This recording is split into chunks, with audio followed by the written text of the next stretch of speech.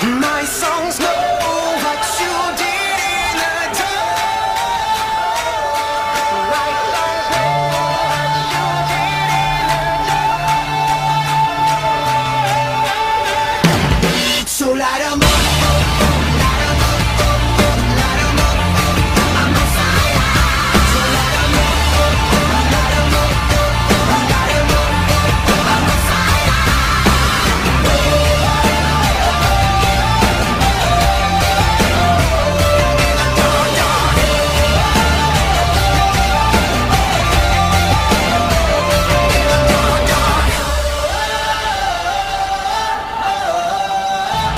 Now it's time to get serious. Whoa!